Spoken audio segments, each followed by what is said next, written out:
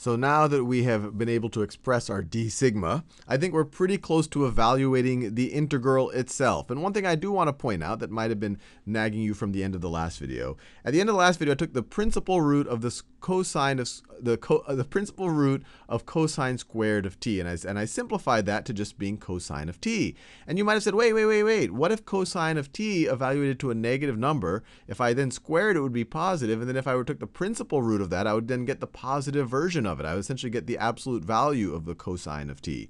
And the reason why we were able to do this in particular in this video or in this problem is because we saw t takes on values between negative pi over 2 and positive pi over 2. And so cosine of anything that's either in the first or the fourth quadrant, so this is t right over here, the cosine will always be positive for our purposes, for the sake of this surface integral. Cosine of t is always going to be positive, and so in this case, we don't have to write absolute value of cosine of t, we can just write cosine of t. And so hopefully that makes you satisfied. That was just based on how we parameterized the t. Now with that out of the way, let's actually evaluate the integral. Our original integral, the original integral, just to remind us, was the double, or I should say the surface integral of x squared d sigma. We already know what d sigma is. Now we just have to write x squared in terms of the parameters. Well, we know the parameterization of x. The x, x in terms of the parameters right over here is cosine. This is our parameterization. x is going to be equal to cosine t cosine of s. Let me write that down. x, x of s and t is equal to, I already forgot, I have a horrible memory, is equal to, we have to go back to the original parameterization, not these partial derivatives, cosine t cosine s. Cosine t cosine s. Cosine t, and then cosine cosine s. And we're taking the integral of that squared. So let's think about this a little bit. So let's just do, let's just, this part right over here. If we square x, we're going to get cosine squared t cosine squared s cosine squared s. That's the x squared part right over there. And then you have the d sigma, which is this stuff, which is times cosine, let me do that same green. Don't want to confuse you with different shades of colors. Times cosine of t ds dt. And now that we have this in terms of the parameters, the differential of the parameters, this essentially becomes a double integral with respect to these two parameters. And so and the good thing is that the boundary is pretty straightforward with respect to s and t. s takes on all values. s takes on all values between 0 and 2 pi. t takes on all values between negative 2 pi and, uh, sorry, negative pi over 2 and positive pi over 2. So first, the way I wrote over here, we're going to integrate with respect to s first. x goes, s, eh, sorry, s goes between 0 and 2 pi. And then t, and then t, let me make it clear, this is s and then t will go between negative pi over 2 and positive, and positive pi over 2. And so let's see if we can simplify this a little bit. This is equal to the double integral over that same region, over that same area, I guess we could call it, over that same area of, well, now we have this cosine squared of t, and then we have another cosine of t right over there. So let me just write it this way. As cosine to the third of t times cosine squared cosine squared of s, and then ds, I'm going to color code it a little bit, ds, and so this is the integral for the ds part, and then dt, and then, and then dt.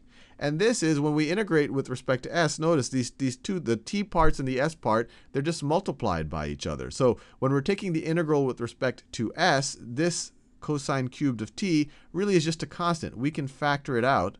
We can factor it out, and it could look something like this. So let me rewrite it. This could be the integral from t goes from, I'll rewrite the boundaries, negative pi over 2 to positive pi over 2. Cosine cubed of t, cosine cubed of t, I just factor that out, and then I'll write the s part times the integral. s is going to go between 0 and 2 pi, and I'll write this in blue, cosine squared of s ds, and then you have dt out there. You have dt, dt, let me do the dt in green, dt in green. I mean that same green dt. And now this outer sum, we can view it, you essentially view it as the product, well, of all of this business right over here. This thing has no t's involved in it whatsoever, so we can rewrite this. We can rewrite this, and I'll write all the stuff involving the t's as green. So we can rewrite this as pi over 2 from or from negative pi over 2 to pi over 2 cosine cubed of t dt times the integral, and I'm really just rearranging things. I guess you could kind of view this as the associative property, or I guess the commutative property. Well, those, those things always confuse me. Times, times the integral of 0 to 2 pi of cosine squared of s ds. And you didn't have to do it this way. You could have just evaluated it while it was kind of mixed like this. But this will help us kind of work through the, the trigonometry a little bit easier. Now to solve these two integrals, we just have to resort to our trigonometry. Cosine squared of s, we can rewrite that as 1 half plus 1. Actually, let me do that same blue color so we don't get confused. That is the same thing as 1 half plus 1 half cosine of 2s. And cosine cubed t, well, that's the same thing. Let's see, we can factor out we can factor out a cosine cosine of t. So let me rewrite. Let's just do it. Well, let me just do it all, both at the same time. Just get all the trigonometry out of the way. This right over here can be rewritten as cosine of t times cosine squared of t cosine squared of t. And the intuition here is if we can get a product of a sine doing something with a cosine, because cosine is sine's derivative, that's kind of, you know, u substitution. You see a function and its derivative, you can just kind of treat it as a variable. So that's what we're trying to get to right over here. So cosine squared of t can be rewritten as 1 minus sine squared of t. So this is cosine of t times 1 minus sine squared of t.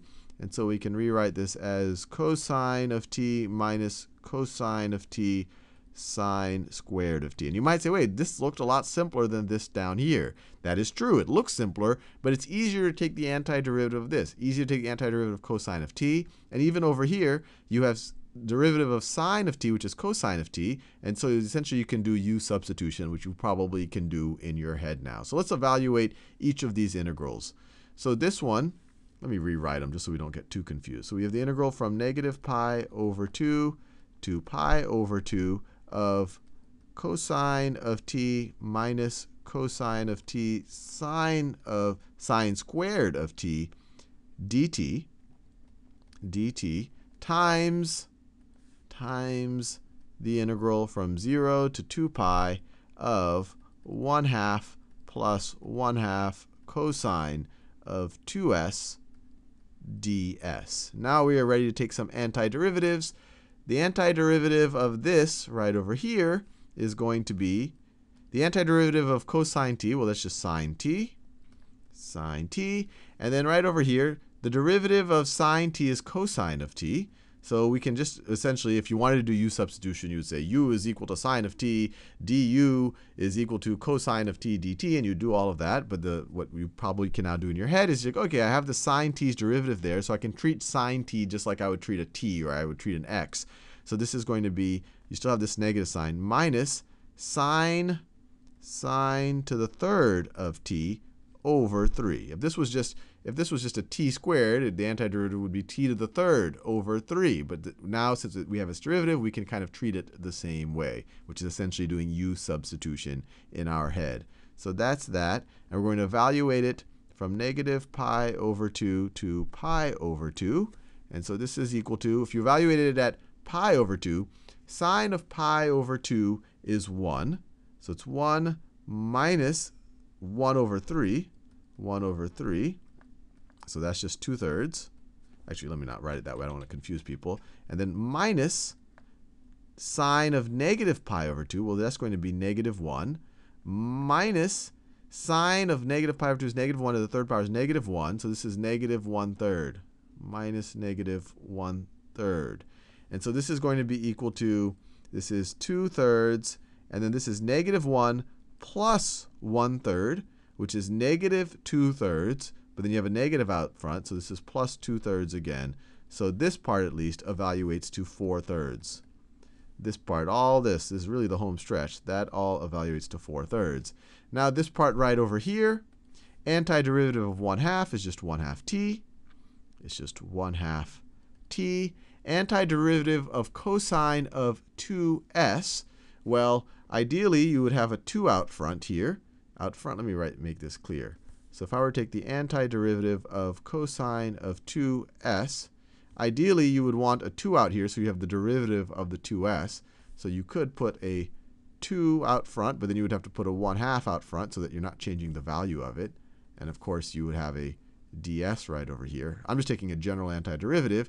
But once you have it like this, then this is just like taking the antiderivative of cosine of s. This is becomes antiderivative of cosine is sine. So this will become sine of s. So this right over here is just sine of s. And then you have the 1 half out front times 1 half. But then, of course, and you would have a plus a constant if you were taking an indefinite integral, but we're taking a definite one, so you don't have to worry about the constant. So just the antiderivative, just the antiderivative of cosine of 2s, just the antiderivative of cosine of 2s is 1 half sine of s. And so you have this constant out front. 1 half times 1 half is 1 fourth. So it's going to be plus, plus 1 fourth sine, sorry, sine of 2s, sine of 2s. That's the antiderivative. And now we're going to evaluate it from 0 to 2 pi. And in either situation, this thing's going to evaluate to 0. Sine of 0 is 0. Sine of 4 pi is 0. And so you're going to have 1 half times 2 pi, which is just pi, plus 0, because sine of 4 pi is 0, minus 1 half times 0 0, 1 fourth times sine of 0, 0. So you're essentially just going to end up with pi. So this whole thing right over here evaluates to pi. And so we're done. You take the product of these two things, 4 thirds times pi. Our entire surface integral evaluates to 4 thirds pi. So this is equal to 4 thirds pi, which is neat. If you have a sphere of radius 1, its, its surface area, or actually, no, I shouldn't even go that because we, we I, no, let me be very careful. I shouldn't make that statement because we, we didn't this wasn't just with respect to one. But we have at least evaluated this surface integral, and we deserve, a, a I think, a bit of a rest now.